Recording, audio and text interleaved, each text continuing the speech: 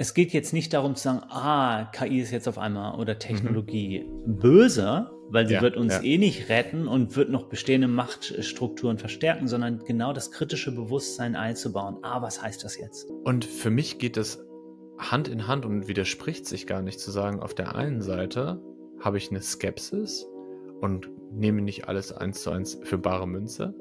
Und gleichzeitig habe ich aber auch eine Begeisterung und probiere Dinge aus und äh, mhm. äh, ähm, also nicht nur Akzeptanz im Sinne von, es gibt jetzt diese Technologie, sondern auch Neugier. Ähm, wie kann mir das im Alltag helfen? Was kann ich damit, was ich vorher nicht konnte? Wenn es ein Thema gibt, an dem man in den letzten Jahren ganz sicher nicht vorbeigekommen ist, dann ist das KI, künstliche Intelligenz. Auch bei unserem Unternehmen, bei WeVolve, ist das Thema nach ganz oben gerückt, denn es gibt ja nicht nur eine technische Dimension, sondern vor allem auch eine menschliche.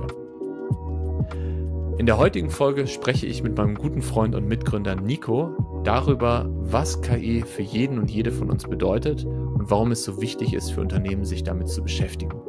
Wir diskutieren Thesen, die wir mitgebracht haben und geben ganz konkrete Tipps, wie man mit Tools wie ChatGPT im Alltag umgeht. Hm. Ich wünsche euch ganz viel Freude beim Zuhören. Mein Name ist Daniel Rieber und ich bin auf der Suche nach dem Hier und Jetzt. Nico, vor einer Woche waren wir beide noch im Wald auf dem Pura Vida Festival mm. und jetzt sind wir wieder in der großen Stadt. es wird heute 30 Grad, der Sommer ist angekommen. Wie geht's dir? Oder wie wir Hip-Hopper sagen, what's up? und, wo du Hip-Hop erwähnst, Du hast ja ein richtig, richtig, richtig feines Konzert dort abgeliefert auf dem Festival. Ich glaube, dem schenken wir heute nicht so viel Aufmerksamkeit, aber die Bewegung nehme ich jetzt mal kurz auf. ähm, ja, ist so eigenartig, wenn, wenn ich gefragt werde, wie es mir geht, dass so viel mit dem Wetter kommt und geht. Und es ist einfach so, ey, bei 30 Grad wahrscheinlich der wärmste Tag bis jetzt des Jahres geht es voll nach oben. Mir geht es ganz gut. Ich habe gemerkt, ich habe die letzten Nächte wie so ein Stein geschlafen. Zwar zu kurz, aber mhm. das, was ich geschlafen habe, richtig gut. Ich bin abends ins Bett gefallen. Ich hatte irgendwie mal späte Termine oder war lang unterwegs unter der Woche. Äh, gehe ins Bett und idealerweise, wenn ich liege, dann mache ich noch so eine Visualisierung für Klarträumen. Mhm. Und die letzten Nächte habe ich mich hingelegt, bam, und war einfach weg. und äh, konnte nicht mal noch diese, diese Einschlafübung machen. Brauchte sie nicht. Direkt in Koma gefallen. Also ja, freue mich total auf unseren Austausch heute zum Thema künstliche mhm. Intelligenz und menschliche Intelligenz.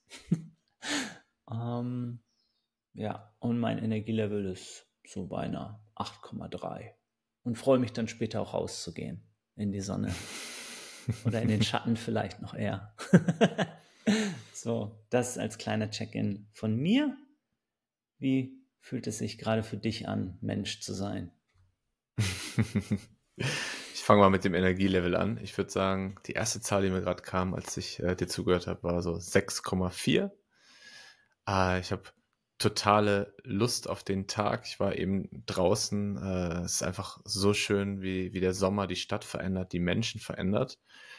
Und gleichzeitig bin ich auch ganz schön erschöpft. Ähm, du weißt ja, ich war die letzte Woche mit Campervan und Familie und Baby ähm, an der Ostsee in Mecklenburg-Vorpommern und ein paar Tage auf dem Festival, was wir eben schon erwähnt haben. Und es war total schön.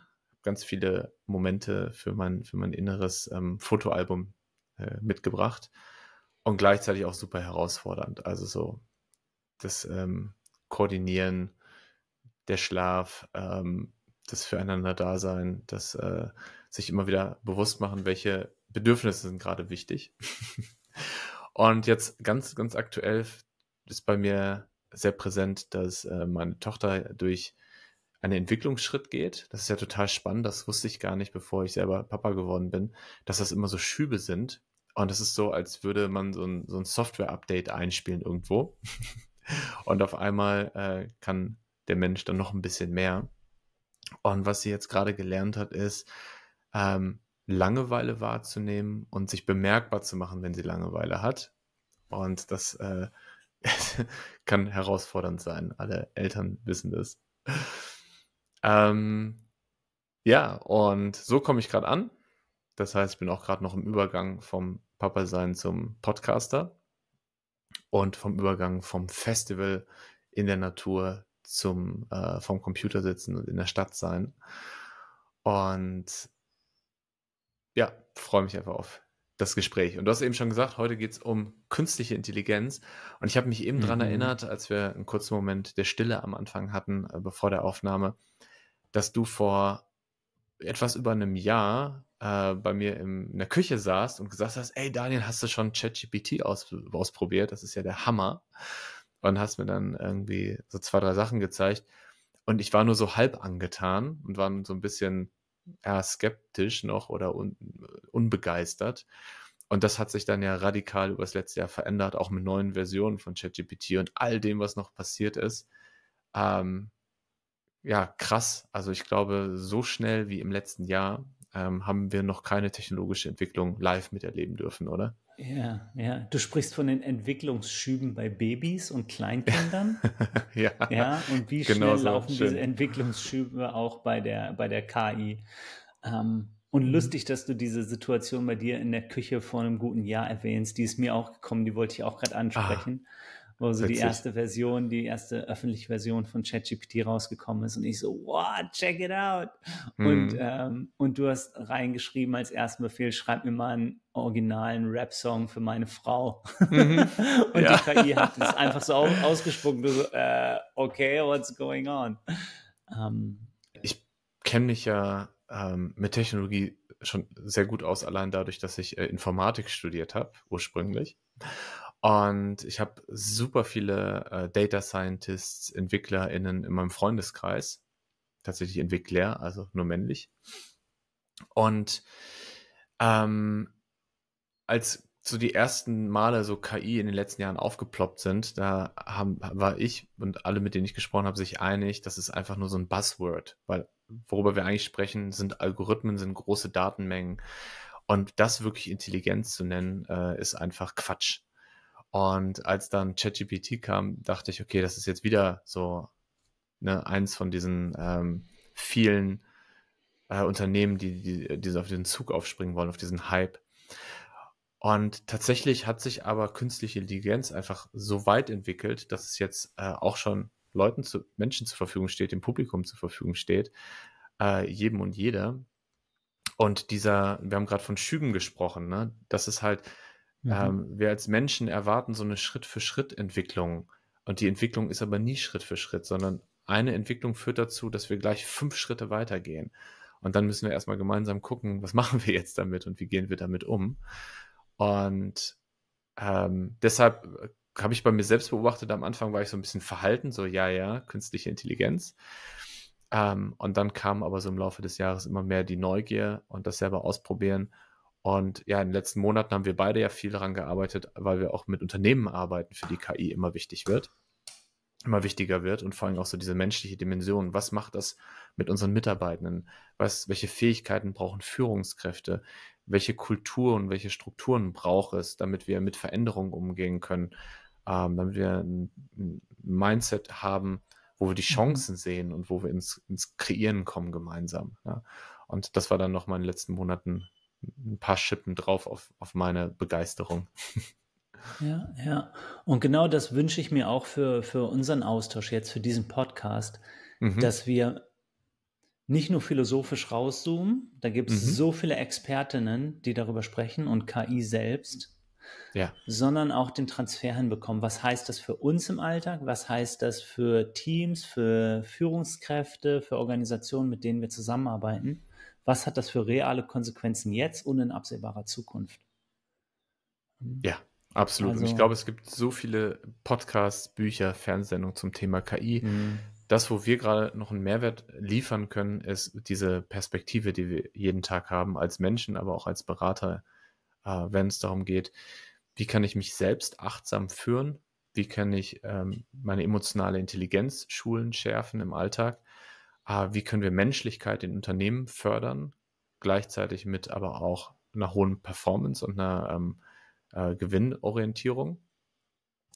und aus der Perspektive sich dem Thema mal zu nähern. Ich glaube, das könnte für den einen oder die andere spannend sein. Und wir haben uns was überlegt vorher. Und zwar haben wir äh, unseren guten Freund ChatGPT mit dabei. Ähm, das heißt, jeder von uns hat einmal während des Podcasts die Möglichkeit, eine Frage an äh, Chat, wie ich äh, ihn freundlich nenne, äh, weiterzuleiten. Yes. Äh, tatsächlich hat sich Chat für mich bisher männlich angefühlt, auch wenn die Stimme, wenn ich dann mit ihm mal spreche, weiblich ist. Ich kann nicht genau sagen, warum. Und es ist ja auch die KI. ich glaube, es ist einfach, weil Chat so ein Männername ist. Frag mich nicht.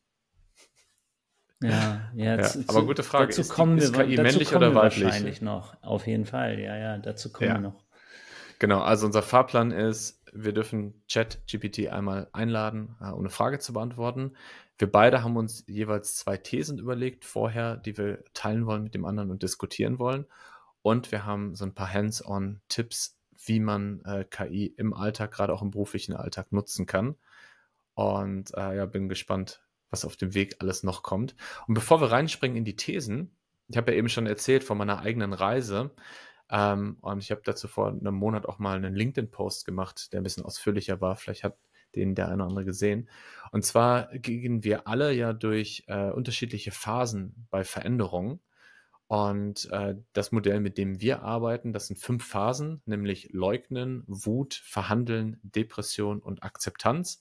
Und ich kann mich tatsächlich an alle diese fünf Phasen gut erinnern ähm, im Hinblick auf, auf KI. Also erstmal so Leugnen, ach, das ist doch alles Quatsch, ist doch eh nur ein Hype, habe ich eben schon erzählt. Dann Wut, äh, scheiße, KI äh, nimmt Jobs weg oder wird eh nur von äh, den Leuten benutzt, die sich leisten können und äh, alles doof, tötet uns vielleicht auch irgendwann. Dann verhandeln, also zu schauen, wie kann ich ähm, in dieser neuen Realität, die ich Schritt für Schritt jetzt akzeptiert habe, äh, meinen Weg finden und gleichzeitig die alte Realität aber noch aufrechterhalten. Dann vierte Phase Depression, feststellen, scheiße, äh, die alte Realität gibt es nicht mehr, die ist weg. Und dann fünfte Schritt Akzeptanz. Und dann fängt die Freude an bei der Akzeptanz, weil, yes, das ist passiert, dieser Entwicklungsschritt ist da, wir können nichts mehr mhm. daran ändern, aber wir mhm. können jetzt kreieren, schauen, wie wir wollen, wie wollen wir damit umgehen, wie wollen wir das einsetzen. Und äh, ja, in der Phase bin ich jetzt gerade. Äh, in welcher Phase bist du oder beziehungsweise kannst du dich an diese Phasen auch in deinem Leben erinnern?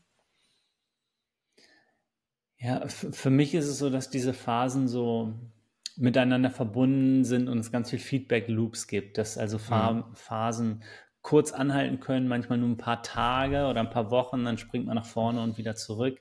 Also anstatt sie so einmal nur linear zu durchlaufen, selbst wenn irgendwann eine Akzeptanz stattgefunden hat oder sogar ein Enthusiasmus am Ende, ja, ja. Äh, kann es sein, dass man wieder ins Tal der Enttäuschung kommt, ja, und von vorne losgeht oder in der Mitte wieder anfängt.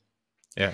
Ich bin, äh, ich glaube, ich habe die Phasen nicht so intensiv durchgemacht, mhm. äh, wenn du mich direkt so fragst. Also nicht so so emotional intensiv, dass ich komplett dagegen, komplett geleugnet, äh, äh, komplett enthusiastisch bin. Ich bin so ein bisschen, ein bisschen, so ein bisschen kühl, rational, mhm. äh, schon mit einer Packung Verwunderung, aber eher so ein bisschen distanziert. Ich bin noch so in so einer Beobachterperspektive. Mhm.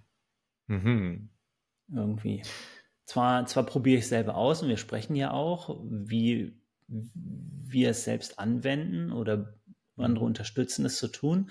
Und trotzdem merke ich, ja, ich bin noch so ein bisschen leicht skeptisch. Ich bin noch leicht skeptisch äh, und noch ein bisschen beobachtend. Ich würde uns beide, so so wie ich dich kennengelernt habe und so wie ich mich einschätze, schon als Menschen beschreiben, die schnell zu der Akzeptanz kommen. Also die ähm, ist ja auch so Grundlage von Achtsamkeit, also dieses Non-Judgmental, etwas beobachten und wahrnehmen und mit mhm. Neugier dem begegnen und zu sehen, ah, da ist eine neue Entwicklung und dann sofort in die Akzeptanz zu gehen und zu sehen, ah, okay, das ist jetzt so, was bedeutet das ab heute? Und gleichzeitig, während ich das erzähle, es ist ja auch gesund, durch diese verschiedenen Phasen zu gehen, also sich von einer alten Realität zu verabschieden. Und auch ähm, ja, trauern ist jetzt vielleicht ein bisschen viel, wenn wir über künstliche Intelligenz sprechen, aber so die, den Emotionen, die mit so einem Veränderungsprozess zu tun haben, auch Raum zu geben. Ähm, ja, aber gerade als ich dir zugehört habe, so mit äh, deiner Praxis und auch dem, dem buddhistischen ähm, Hintergrund, so, ja, die Welt ist die ganze Zeit in Veränderung und Akzeptanz ist mhm. so eine Grundhaltung, die ich von dir kenne. Mhm. Ja, so was dran. So, ich habe Lust in die, ich habe Lust in die Thesen reinzuspringen, die wir mitgebracht haben. Ja. Möchtest du, möchtest du anfangen? Ich habe total Lust anzufangen und äh, würde da ein bisschen ausholen. Und zwar habe ich für mich ganz lange ein Narrativ gehabt, äh, bis vor einem Jahr ungefähr, dass äh, künstliche Intelligenz, so gut sie auch wird, aber dass es eine menschliche Kompetenz gibt, die künstliche Intelligenz nicht so leicht bekommt, und das ist Empathie. Und dann habe ich für mich selber so die Erkenntnis gehabt, äh, in einem unserer Workshops witzigerweise, dass Empathie etwas ist, was ja erlernen und trainierbar ist und was wir Menschen zwar grundsätzlich mitbringen durch unsere Default-Einstellung, wenn wir auf die Welt kommen, aber sehr, sehr viele Menschen verlernt haben und weit weg davon sind, Empathie wirklich äh, ja, zu leben. Und wenn man einer KI Empathie beibringt, und ich würde sogar so weit gehen und sagen, dass eine KI wie ChatGPT das auch jetzt schon äh, beherrscht, dann äh, kann eine KI empathischer sein als Menschen und auch so Rollen, die äh, Empathie bedingen, wie zum Beispiel der Coach, ähm, der zuhörende Freund, ähm, der äh, die, Führungskraft, äh, auch teilweise übernehmen. Ja, also meine These ist, Empathie wird in Zukunft empathischer sein als Menschen, zumindest in bestimmten Rollen und in bestimmten Kontext. Wie fühlt sich das für dich an? Ja, erstmal die Idee zu sagen, eine KI ist empathisch, ist ja schon so eine Anthropomorphisierung. Also mhm. Die Idee, dass es irgendein Bewusstsein hat.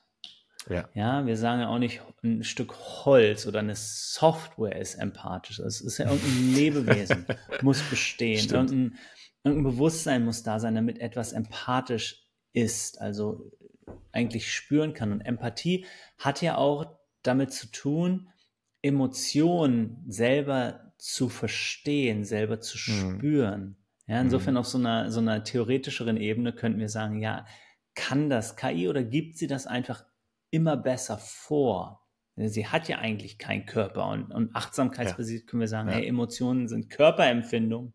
Wie kann KI dann, wenn, wenn KI nicht wirklich so ein Körperempfinden hat, äh, Emotionen empfinden und mhm. daher empathisch sein? Ähm, Darf ich da gleich aber, drauf eingehen oder magst ja, bitte, mach mal. Ja. Äh, vielleicht den letzten Satz. Und ich glaube, dass mhm. KI es sehr, sehr, sehr gut vorgeben kann, empathisch mm, zu sein. Genau. Und teilweise jetzt ja auch schon besser ist in äh, Emotionserkennung anhand von Gesichtsmuskulaturveränderungen. Ja. Als Menschen, was ja enorm komplex ist. Und wenn wir da nochmal fünf Jahre in die Zukunft gehen, können wir sagen, ja, KI erkennt Emotionen besser und kann deshalb auch präziser und stabiler, wie du gesagt hast, darauf reagieren. Also nicht ja. so schwankend abhängig von eigenen Gemütszuständen wie Menschen. Ich kann deine, deine Antwort total nachvollziehen. Das wäre wahrscheinlich genau die Antwort, die ich auch gegeben hätte.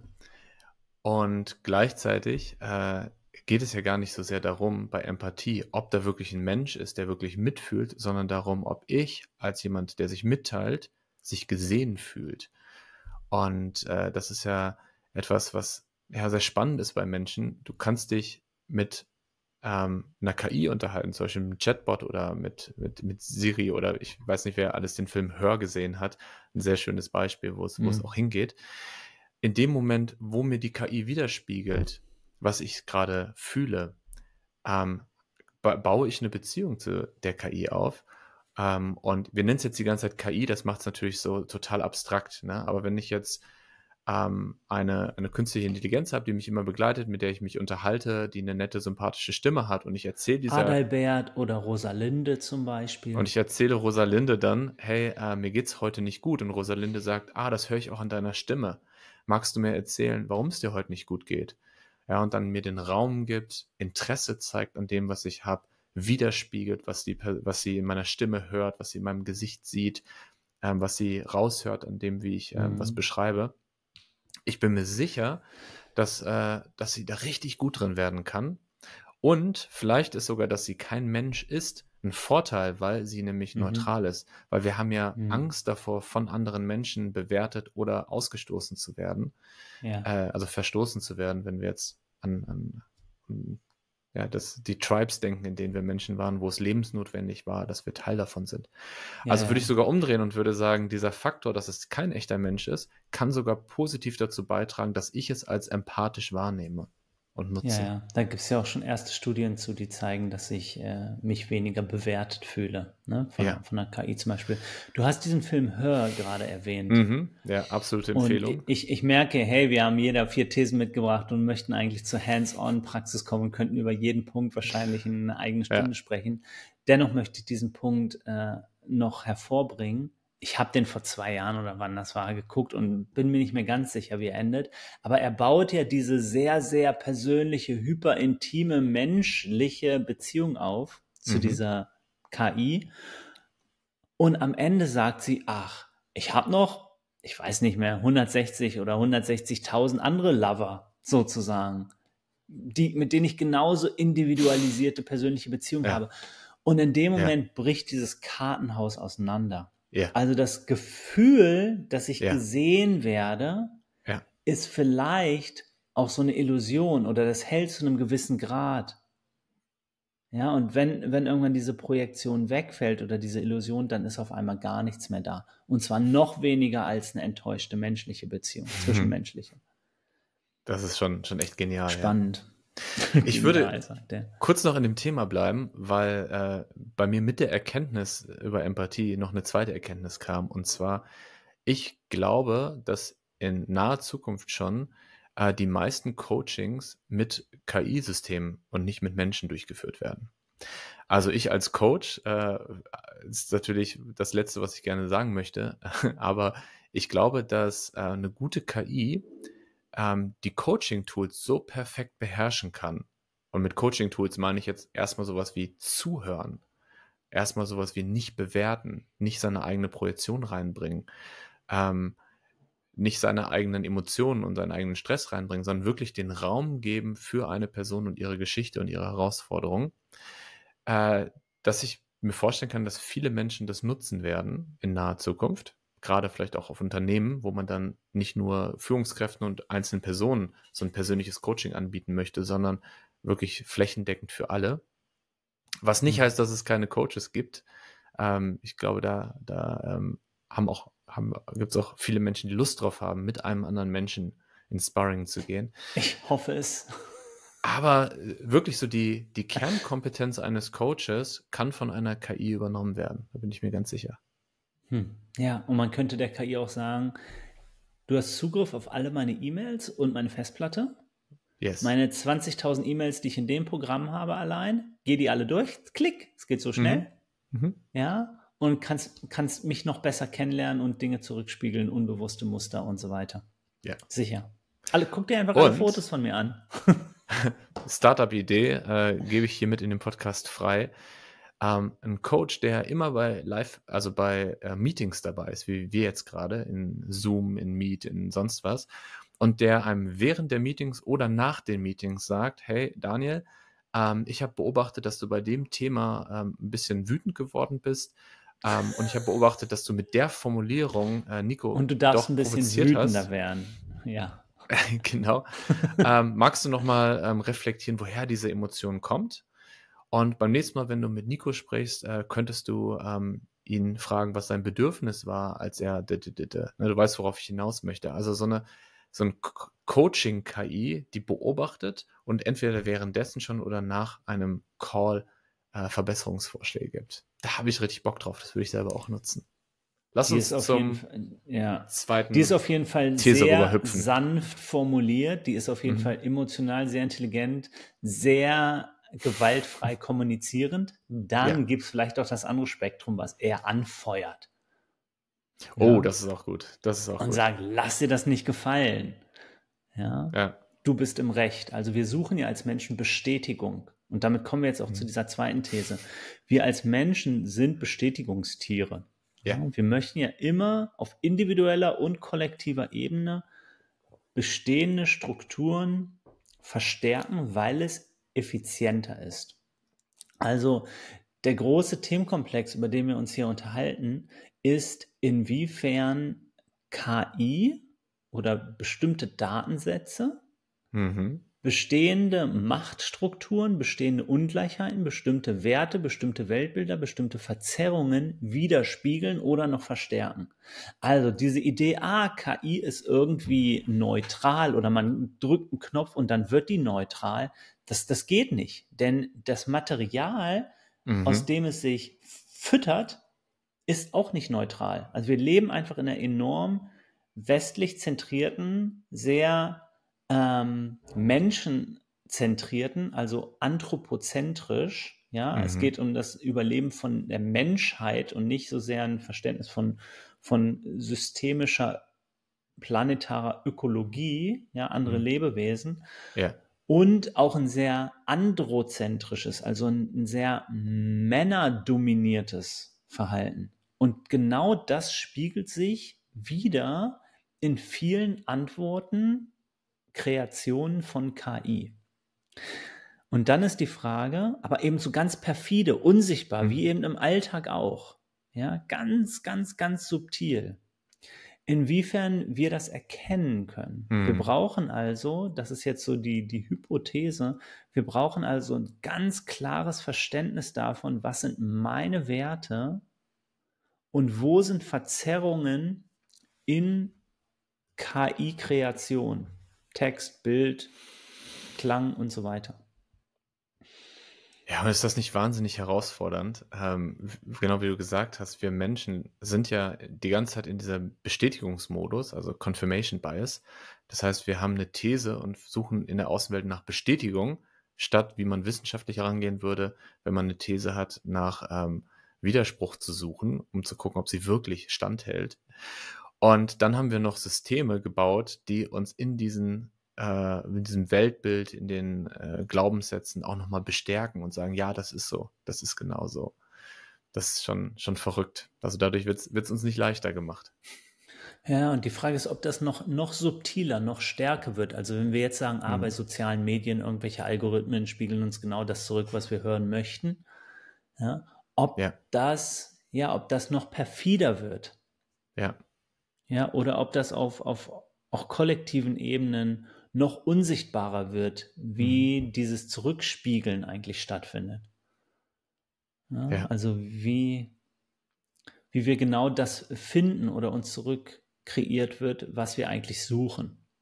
Ja, wenn ich bei, bei Google irgendwas eingebe, kann ich immer eine Antwort zu irgendwas finden und kann rechtfertigen, warum ich so denke, die Welt sehe oder mich auf eine bestimmte Art und Weise verhalte, wie ich es tue. Ja ja, weil es so mein, mein Ego stärkt oder mich nicht an bestimmte Schatten von mir selbst oder der Welt äh, heranlässt, könnte mhm. ich gucken, ah, inwiefern KI, gerade wenn diese sehr personalisiert wird in Zukunft, mhm. noch stärker als heute, ja. ob die das noch, das noch mehr passiert. Weil niemand möchte eine KI haben, die auf seinem Telefon ist, die einem permanent sagt, dass man äh, doch bitte das Unangenehme spüren soll und, ne?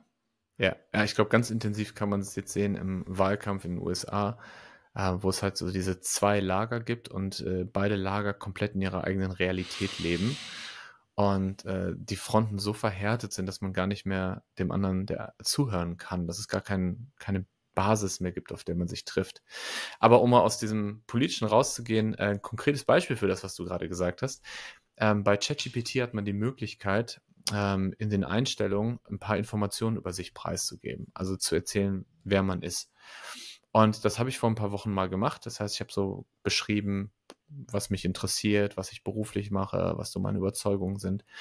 Und dann habe ich da gar nicht mehr dran gedacht, dass ich das getan habe und habe vor ein paar Tagen eine Frage an ChatGPT gestellt. Und bei der Antwort habe ich da gesagt, ah, wenn ChatGPT das sogar sagt, dann bin ich da auf dem richtigen Weg.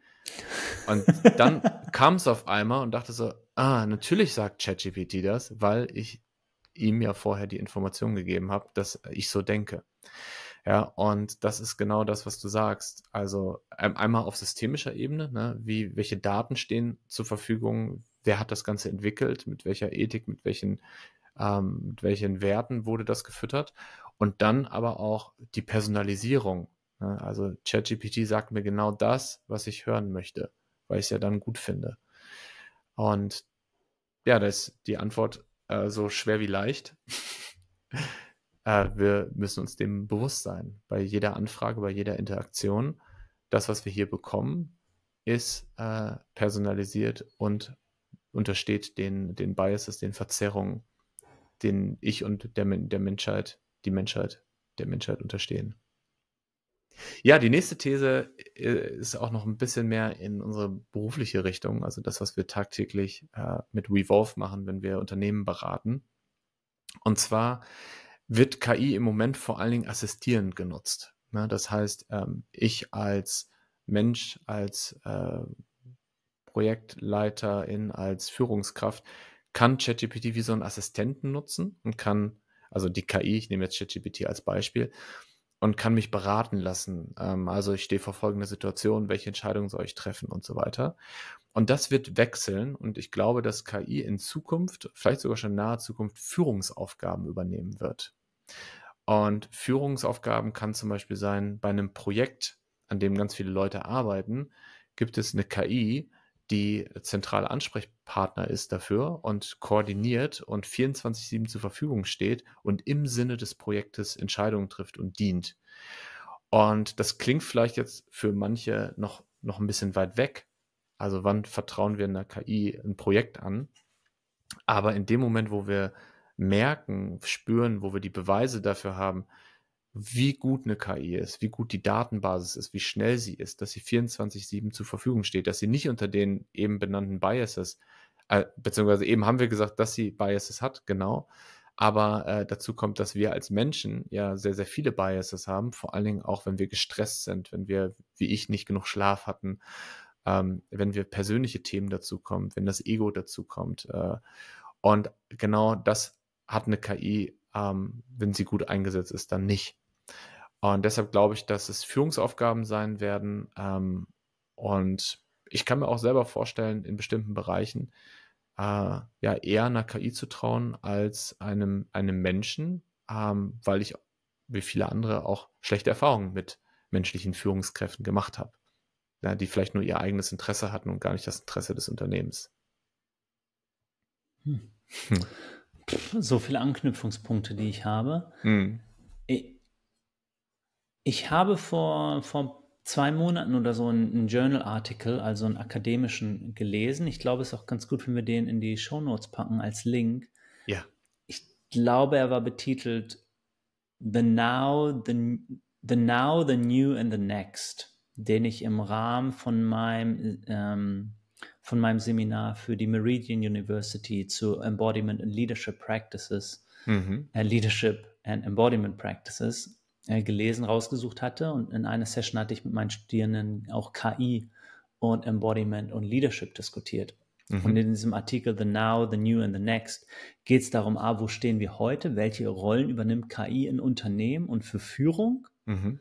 Ja, und das ist, äh, okay, einzelne Kommunikation wird ausgelagert und so als Hilfsmittel sozusagen. Dann The New sind die nächsten fünf Jahre ungefähr wo äh, KI schon komplexe Projektkoordinationen übernehmen wird und auch äh, zwischenmenschlich, HI, Coaching, Empathie und so weiter. Mhm. Ja? Und dann the, the next ist wirklich, ah, wie sieht es aber in zehn, zehn Jahren aus mhm. oder noch? Hallo, was sind zehn Jahre? Gar nichts. Ja? Wo sie wirklich sagen, ja, KI wird sehr wahrscheinlich komplexe komplette Organisation führen. Also es mhm. gibt keine mhm. Aufgaben mehr laut deren These, die KI nicht übernehmen wird können. Mhm. Ja, also spann, spannende Frage, spannende Frage. ja, und wir sind ja auch heute hier, um zu gucken, ah, was heißt das? Ist das wirklich so? Ist das eine, ist das eine Form von Illusion? Und das ist auch diese, diese nächste These, die ich mitgebracht habe, um mhm. gleich mal den Übergang zu machen.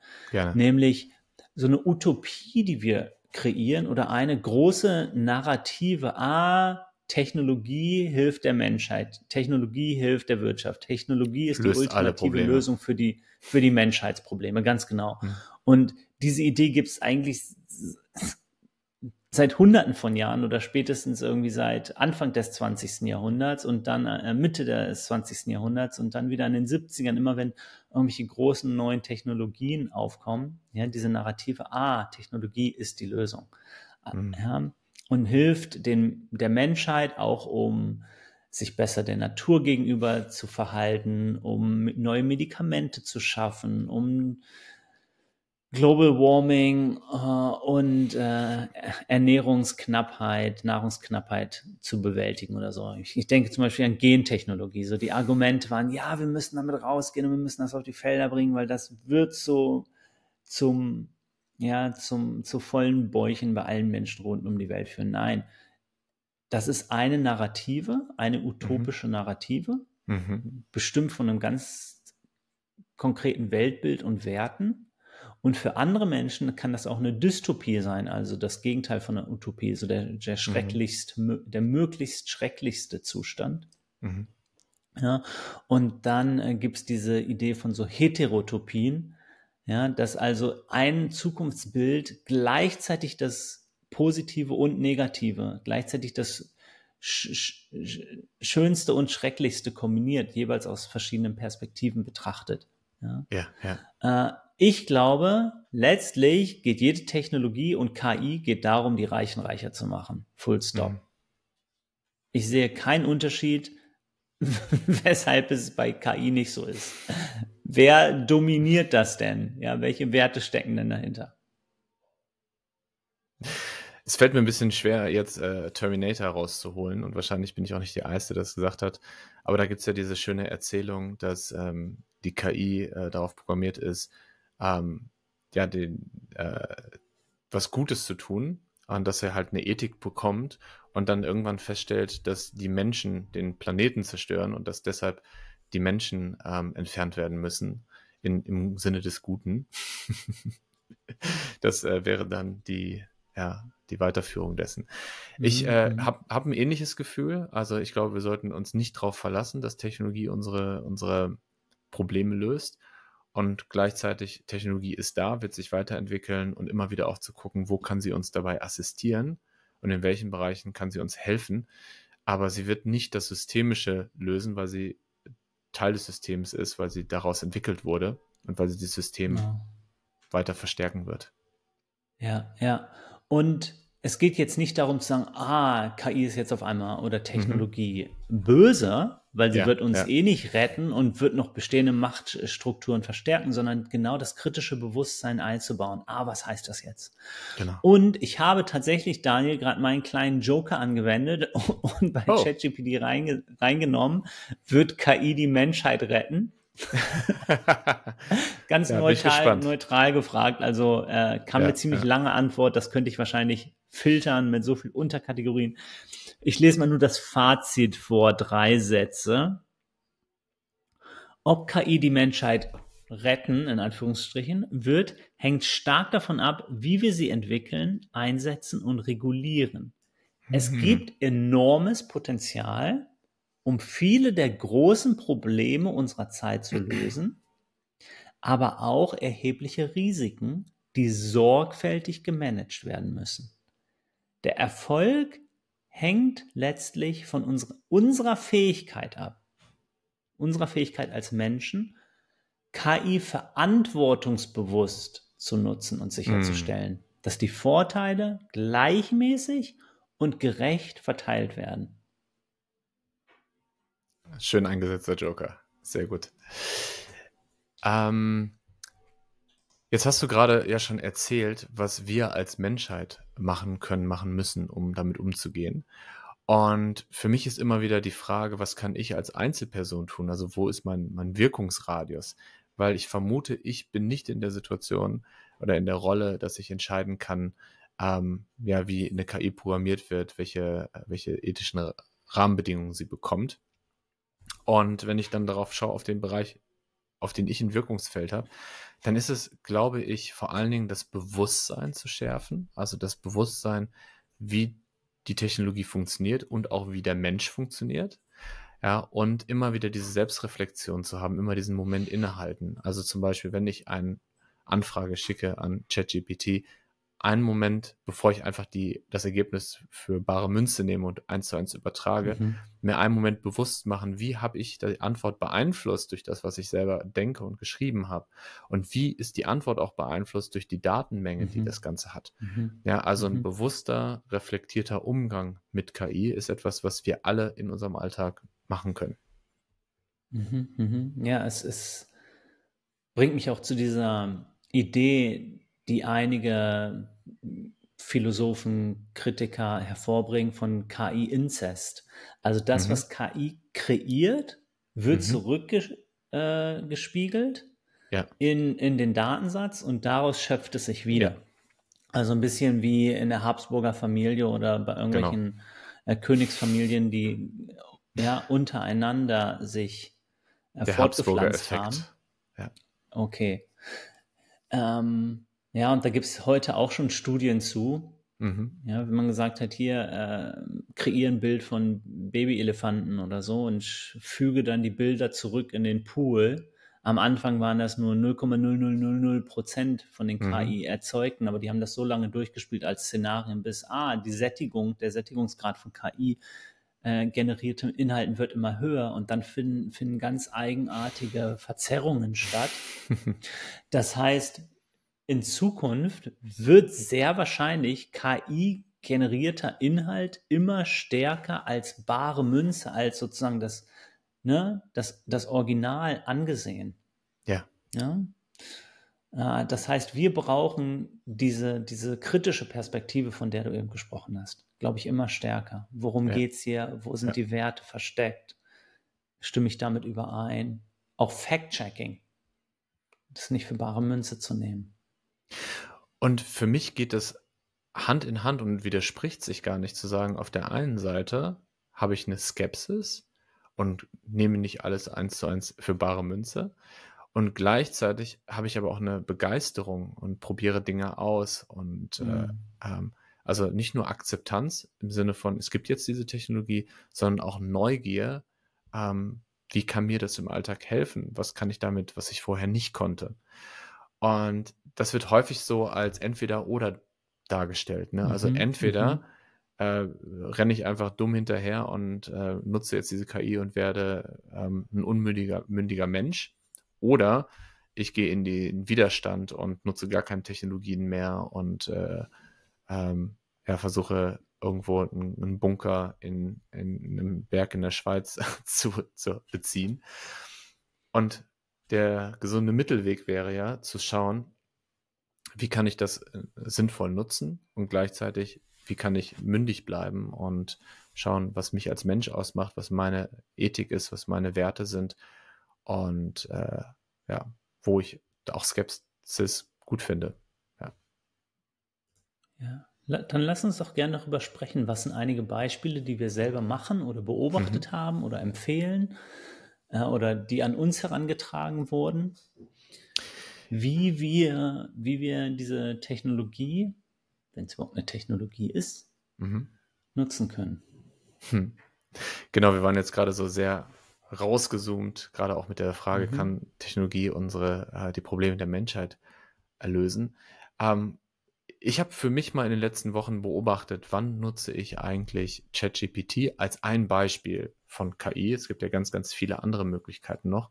Ja. Also zum Beispiel finde ich es total spannend, als Podcaster habe ich mich mal damit beschäftigt, ähm, kann KI mir nicht nur ein Skript schreiben, sondern auch das Ganze mit meiner Stimme einsprechen. Und das geht jetzt schon erschreckend gut.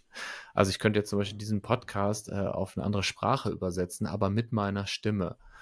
Und äh, in, der, in, Zukunft werde ich nur noch sagen, irgendwie, hey, welches Thema ist gerade in? Dann sagt äh, die KI, ähm, achtsamer Umgang mit KI ist gerade ein großes Thema. Und dann sage ich, schreib mir mal ein Skript für 60 Minuten und dann sprich das mal mit meiner Stimme ein. Ähm, und dann habe ich gar nichts mehr zu tun. wow. äh, genau. Ja. Aber jetzt zu den Hands-on-Dingen. Ich würde sagen, wir machen einfach abwechselnd. Ich fange einfach mal an. Was mir total Spaß macht und total geholfen hat, ist, immer wenn der Gedanke aufkommt, ich google das mal. Ja, das ist ja so einprogrammiert schon in unserem Kopf. Ich google das mal. Äh, dass ich dann das als Anker nutze und sage, nee, ich tippe das mal bei ChatGPT ein. Und das hat zwei große Vorteile oder zwei große Benefits, die ich sehe. Das eine ist, man nutzt auch im Alltag viel häufiger ChatGPT. Also so ein ganz konkretes Beispiel. Ich habe mich gefragt, was für, für, für Spiele kann ich mit meiner äh, Tochter spielen. Habe dann eingegeben, Kinder ab vier Monate, ähm, äh, gib mir mal drei Spiele. Äh, und habe dann gesehen, die ersten zwei machen wir schon, das dritte kannte ich noch nicht. Und dann haben wir das mal ausprobiert. Äh, da hätte ich lange googeln für müssen, um genau das zu bekommen. Ähm, und auf der anderen Seite aber auch zu gucken, wo ist die AI halt eher ein Assistent und eine mhm. Suchmaschine wie Google gibt natürlich noch andere gute, ähm, liefert mir Ergebnisse, also so zeigt mir drei Pizzerien in meiner Umgebung. Ist wahrscheinlich was, was äh, Google auch nach wie vor besser macht als ChatGPT. Also das kann ich empfehlen. Anker setzen, immer wenn ich was googeln möchte, stattdessen gucken, was ChatGPT sagt. Mhm, mhm. Dann mache ich mal direkt weiter. Äh, auch sehr angewandt für, für Business-Kontext mhm. oder auch für Freiberufler oder e egal in welchen professionellen beruflichen Umfeldern ich arbeite, wo ich mit großen Datensätzen arbeite. Mhm. Also ich habe zum Beispiel neulich zehn Personen interviewt aus einem Team und es ging dann darum, in einem Folgeworkshop äh, Muster herauszuarbeiten, ja, um zu zeigen, was sind bestimmte Entwicklungstendenzen, Wünsche etc. in diesem ja. Team. Ja. Und ich habe spaßeshalber, das war wirklich nur so als, aus, aus, als Gag eigentlich, da habe ich einfach mal alle Notizen, ich habe sehr viel äh, handschriftlich, also am Computer mitgeschrieben. Man könnte natürlich das auch direkt eins zu eins aufnehmen lassen, ja. diktiert sozusagen von der KI. Ich hatte sehr viel, bestimmt eine Seite pro Person oder mehr mitgeschrieben und habe gefragt, hier, das ist das Setting, darum geht es, kannst du das mal nach Mustern durchsuchen und habe ein Protokoll gekriegt innerhalb von zehn Sekunden, das sind die Muster und dann noch äh, Kernzitate von jeder Person. Und da war ich auch so, wow, krass. Wenn ich überlege, vor, vor gut zehn Jahren, wo ich in meinem PhD auch qualitative Interviews geführt habe und irgendwie mhm. drei oder vier Monate stundenlang pro Tag ähm, diese damals 15 Interviews oder so analysiert habe nach Mustern. Damals war es so, da kamen auch gerade die ersten Technologien raus, die erste Software, die auch so ein Muster identifiziert hat, so vor 10, 15 Jahren. Dass das zack einfach so schnell ging. Und ich mhm. habe mir das alles durchgelesen, was ChatGPT mir gesagt hat, hätte das verfeinern können durch Nachfassen und habe mir dann aber überlegt, okay, ich mache das doch äh, manuell und bin alles durchgegangen und habe mehr so auf so einer emotionalen Ebene ja, äh, ja. nachgeschaut, weil ich mich natürlich an jede Konversation erinnert habe und gemerkt habe, ah, da war die Person besonders engagiert. Das mhm. hat die Person zweimal gesagt, aber ich habe es nur einmal notiert.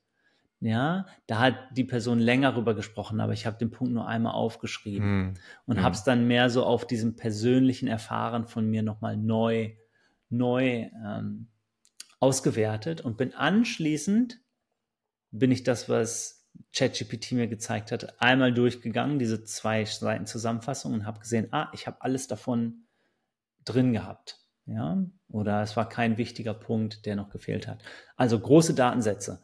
Da noch ein kurzes anderes Beispiel. Ich habe neulich mit einer aus einem großen Unternehmen, die sind 20.000 Personen, 6.000 in Deutschland, telefoniert, HR, und sie hat gesagt, sie hatte ein 160 Seiten Dokument was sie eigentlich hätte lesen, zusammenfassen müssen und das hat sie einfach an ChatGPT gegeben oder die haben intern so eine andere Software, mhm. wo sie firmeninterne Datensätze noch hinzufügen können. Einfach gegeben, zack, fünf Kernaussagen plus noch drei Fragen und hat das company-weit rausgesendet und die KI hat auch noch ja. die E-Mail formuliert. Fertig. Das, also das wäre was gewesen, da hätte sie zwei ja. Tage dran gesessen und hat das irgendwie ja. in einer halben Stunde durchgehauen. Das macht total Sinn und äh, kann auch so wirklich so weit gehen und sagen, schreib mir eine Management Summary. Ne? Und äh, noch die Situation der, der Kunden, des Kunden zu beschreiben. Ähm, ja, macht total Sinn. Und ich finde, das ist ein schönes Beispiel, um zu gucken, wo stehen wir jetzt gerade schon und wo kann es zukünftig sein. Also jetzt gerade, mhm. wenn man mal deine Interviews nimmt, ne? Ähm, da ist ChatGPT gut darin, diese Datenmengen sich anzugucken und nach Mustern zu suchen und dir die dann zu zeigen. Aber du bist gut darin, zu spüren, wenn du mit jemandem im Gespräch bist, wann ist etwas wirklich wichtig, wo steckt vielleicht noch was hinter, was gar nicht ausgesprochen wurde. Na, also mhm. diese, dieses subtilere, deine Menschenkenntnis, deine Erfahrung mit Menschen. Und da wird KI ja jetzt immer besser. Du hast eben schon gesagt, irgendwann kann sie den Tone of Voice hören, irgendwann die Gesichtsmuskula äh, Gesichtsmuskulatur, die Gestik ähm, und äh, wie, ich, wie ich mein Gesicht bewege, mhm. Mimik, ähm, auch noch analysieren. Mhm. Und deshalb ist für mich im Moment ganz klar KI ein Assistent äh, in dem Beispiel. Und dann kann ich entscheiden, was mache ich mit dem Vorschlag von der KI, wo ändere ich das noch ein bisschen ab. Äh, und deshalb sehe ich meinen Job dann noch nicht ersetzt. Perspektivisch ähm, wird da aber schon einiges an, an Arbeitskraft äh, ja, ähm, vereinfacht, sagen wir mal. ich gehe mal gleich weiter. Ähm, Tipp, der mir super viel geholfen hat, also wirklich mein, mein äh, KI-Game nochmal verdoppelt hat, ist, äh, sich damit zu beschäftigen, wie man eigentlich promptet, also welche Anfragen man schreibt. Und ich habe immer, ich habe am Anfang gedacht, ja, ich habe jetzt drei, vier Mal eine Anfrage gestellt und die Ergebnisse waren nicht so gut und habe dann gedacht, ja, ChatGPT ist halt noch nicht so gut, bis ich verstanden habe, die Ergebnisse sind nur so gut wie meine Anfrage. Also konkretes Beispiel. Ähm, ich sage, schreib mir mal ähm, das und das ist, äh, habe ich vor, ähm, ich will ein Seminar geben, das ist die Zielgruppe, das sind die Kerninhalte, schreib mir mal einen Beschreibungstext und dann bekomme ich einen Beschreibungstext und dann lese ich den und denke, ja, irgendwie ist der unemotional, irgendwie ist der zu gestochen. Dann liegt das nicht an ChatGPT, sondern liegt das daran, dass ich nicht im Prompt reingeschrieben habe, äh, mach es unterhaltsam, bau vielleicht noch ein überraschendes Element ein. Ja, ähm, äh, kannst die, die Zielgruppe duzen und so weiter. Also je mehr Informationen das Tool bekommt von dir im Briefing, im Prompt, desto besser ist das Ergebnis. Und das äh, kann ich allen nur empfehlen. Ähm, da gibt es auch tatsächlich so empfohlene Vorgehensweisen, also so Kontext, Zielgruppe, äh, Tone of Voice, Ziel und so. Das kann man sich mal mit beschäftigen. Ähm, aber erstmal im ersten Schritt reicht es zu wissen, je mehr Informationen ich gebe, desto besser das Ergebnis. Ja, genauso wie in jeder zwischenmenschlichen Kommunikation.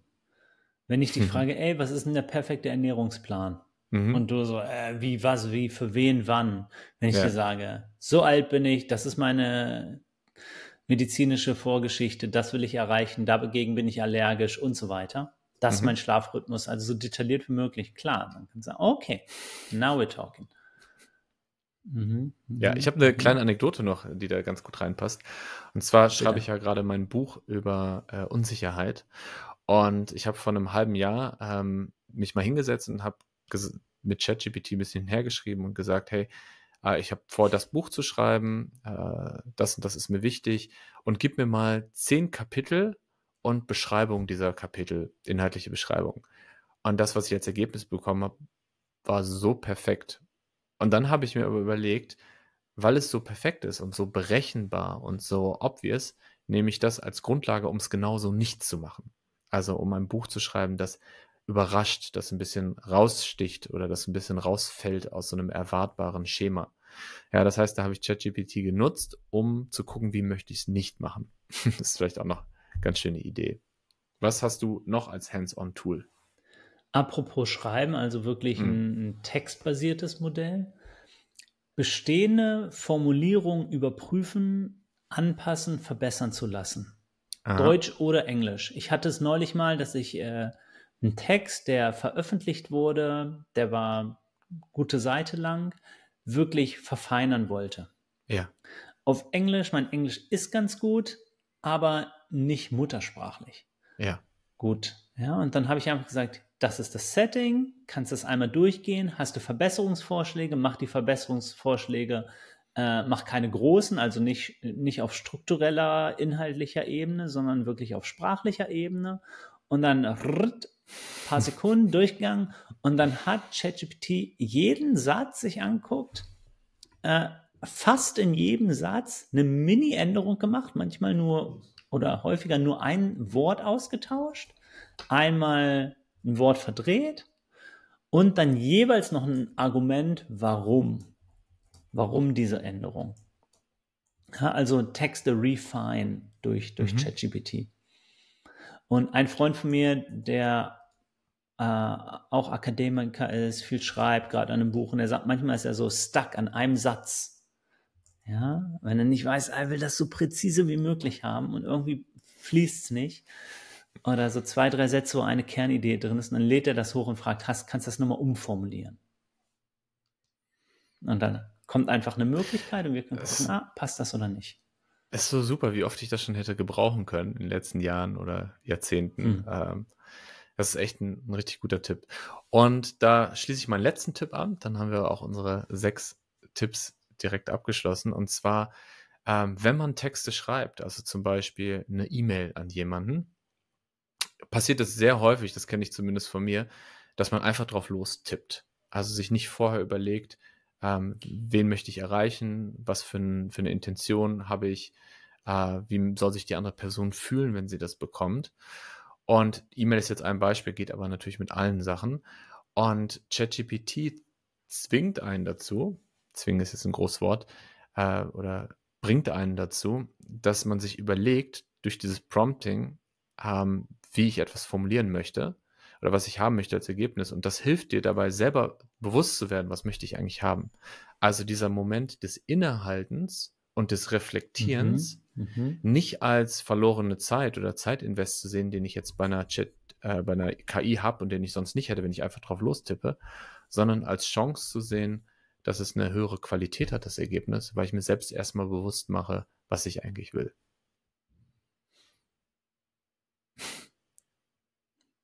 Stille von mir.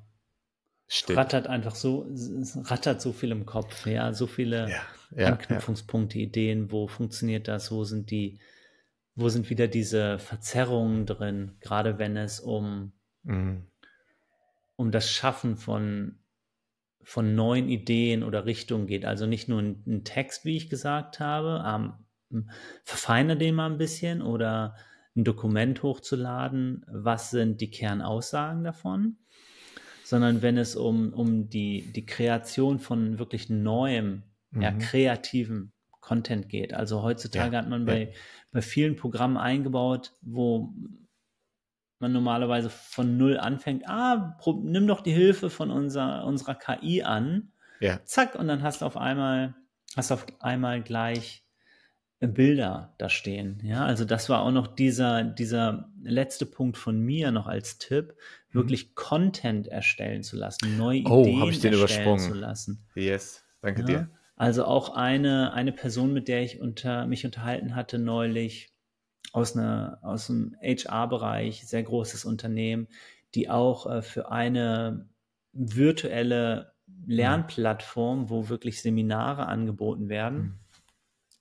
Äh, eine KI nutzen, die jetzt eigene Seminare erstellen kann und sogar auch durchführen kann. Also man mhm. gibt ein Thema rein, dann sagt diese KI, ah, das ist die Struktur, wir brauchen drei Workshops dazu, drei Wochen lang, das sind die Lerninhalte und die erstellt sogar die Slides inklusive Bildern für die Slides. Ja, ja. Und dann ist alles so als, als Self-Paced Learning online. Natürlich, äh, zu diesem Punkt ist es wichtig, dass nochmal ein Mensch rüberguckt und anpasst und korrigiert und so weiter. Und wir unterhalten uns ja auch über the not only the now, but the new and the next.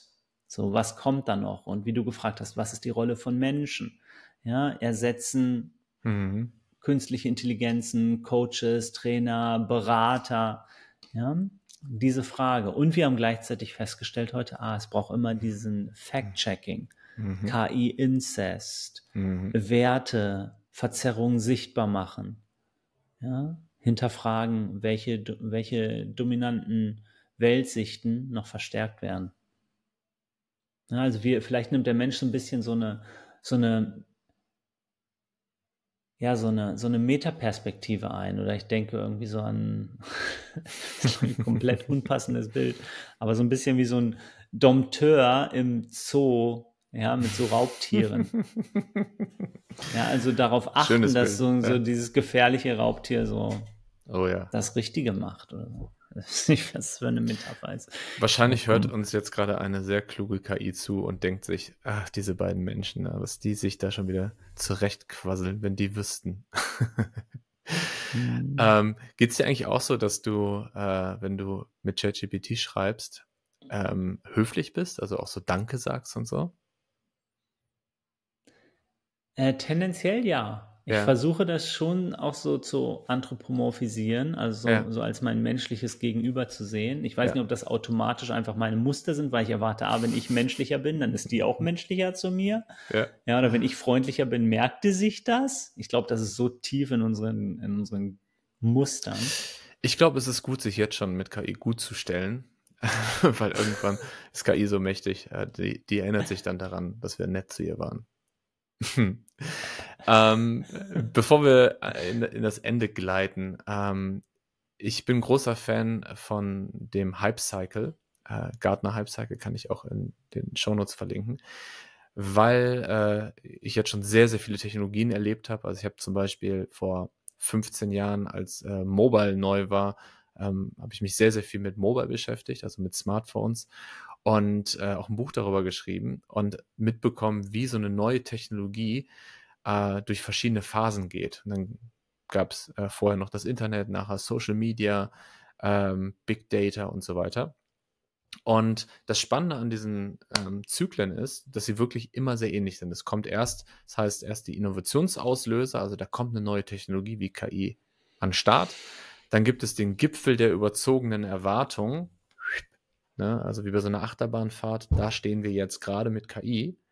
Das heißt nicht nur, dass es gerade ganz viel Aufmerksamkeit kriegt, sondern auch übertriebene Erwartungen. Also wir denken, dass KI Dinge kann, die es vielleicht noch gar nicht kann. Also die aktuelle zumindest.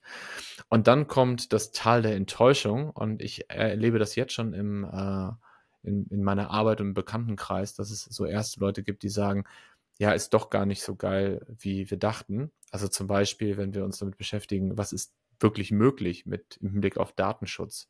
Ne, mit welchen Daten kann ich im Unternehmen tatsächlich arbeiten? ist gerade sehr viel Enttäuschung, dass diese angepriesenen Möglichkeiten gar nicht umsetzbar sind. Und dann kommt aber der sogenannte Pfad der Erleuchtung, schönes Wort, und Plateau der Produktivität. Das heißt, jede Technologie, die kommt, wird erst ähm, überschätzt, dann redet man sie tot und dann wird sie aber irgendwann ähm, ja, Teil unserer Normalität werden. Und ich bin gespannt, ob das mit KI genauso ist oder ob KI die erste Technologie ist, die so disruptiv ist, dass sie sogar diesen Hype-Cycle durchbricht. Lass uns äh, schauen. Nico, hast du noch was, was du zum Abschluss teilen möchtest, was, was dich beschäftigt? Keine abschließenden Kommentare. Okay, dann würde ich an dieser Stelle gerne meinen Joker ziehen, den ich noch habe. Den habe ich mir nämlich fürs Ende äh, aufgespart. Und ich habe ChatGPT gerade gefragt, ähm, kannst du mir einen schönen Abschluss für meinen Podcast mit Nico geben? Zwei Sätze, baue auch ein bisschen Humor ein. Und ich habe die Antwort noch nicht gelesen, ich lese sie jetzt vor. Ähm, vielen Dank fürs Zuhören. Denkt daran, auch wenn KI immer klüger wird, gibt es keinen Ersatz für einen guten, alten, menschlichen Irrtum.